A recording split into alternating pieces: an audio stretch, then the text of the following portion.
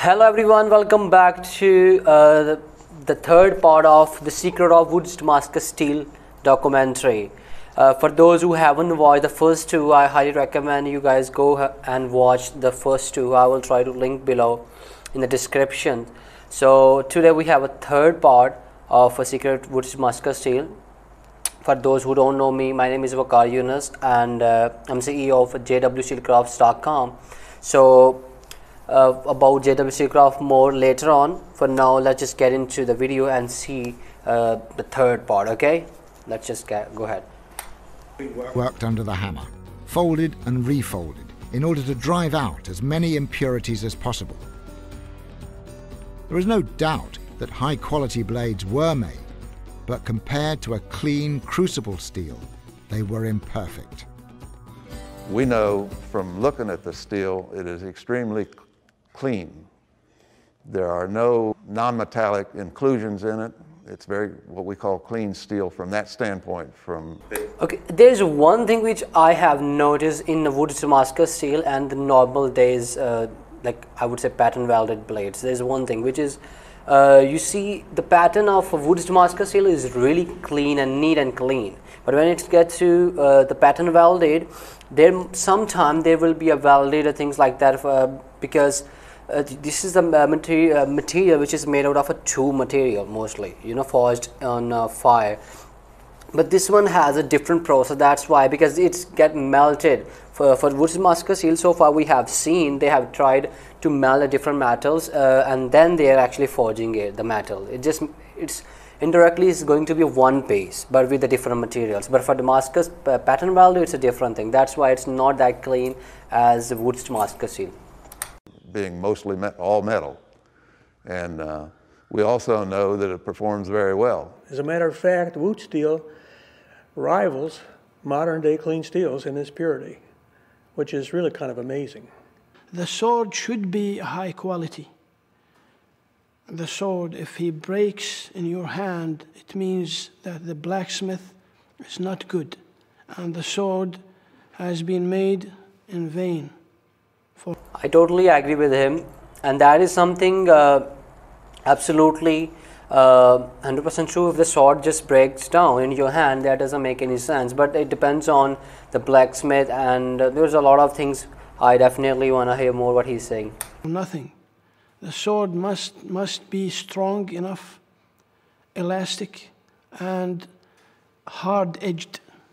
Well, one of the reasons you want to have a clean steel is because if you have inclusions in the steel, it will cause the steel to not be as tough. What happens is small cracks form around those inclusions and they propagate through and it breaks apart. And so the clean steel is really desirable.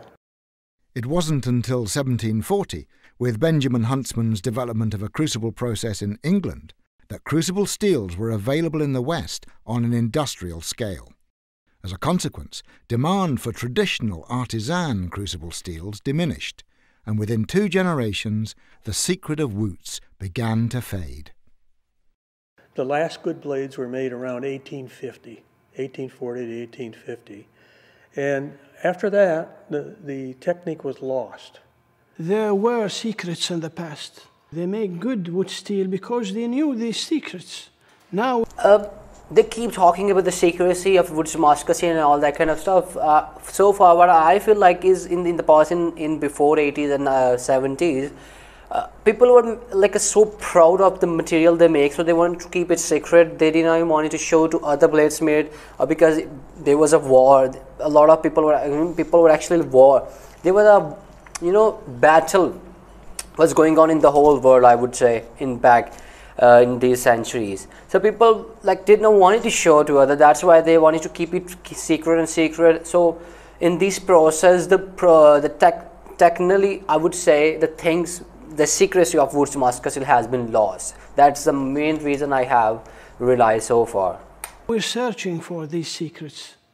Unless we find these secrets, uh, the Wootz steel won't be, but we are very close to, to, to get that actually. So he's just talking that we're trying to search about it. I think uh, there, there must be a some sort of uh, you know piece of information out there but i think people in nowadays are not able to uh, figure this out at the moment but they're trying i guess so far that's something uh, we could do so that's what they're doing Okay, Al, you can turn her off.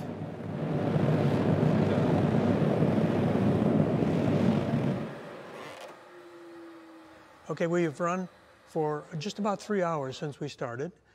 And for those who don't know, this whole process has been uh, like uh, tried in, in Florida, US. And we got to the temperature we wanted to hold it at, which is about 1488 for this particular experiment, a little higher we've been running. And we held it for about a half an hour at that temperature. The furnace is left to cool down overnight. Even so, the crucible remains too hot to handle. The making So they actually, uh, after giving a temperature to the material, they want to let it, you know, let it be on the wind, okay, wind. So they wanted to cool it down for the two days. Even after two days, they were still hot. The metal was still hot. So that means they have given a good temperature, high temperature to the material in order to get uh, material melted. of Wootz steel is definitely not a slam dunk. We can make the Wootz, and we're fine tuning the process to get the success rate as high as we can get it. Every ore is different, and at each stage there is the possibility of making minor adjustments. It is a process of trial and error. There are several stages in the making of Wootz. Each takes time, and so with every step there is a lot at stake.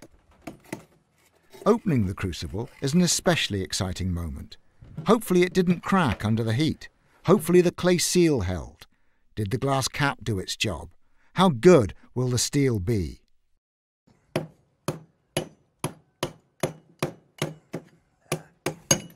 So, I think we're ready. The first signs are very positive and extremely encouraging. You get a glove, you can handle it a little more and look it over. Still hot. Oh, this is solid. Uh, there's no air bubbles inside. This is great, I think. It is certainly a quality piece of crucible steel, but it is not yet Wootz Damascus.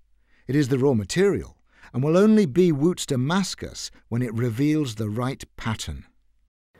You can make a, a crucible steel that will have pretty much the same composition with no pattern.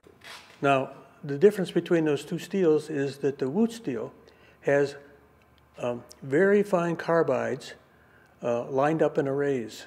And uh, those, the, the, the advantage that that might provide would be superior wear resistance.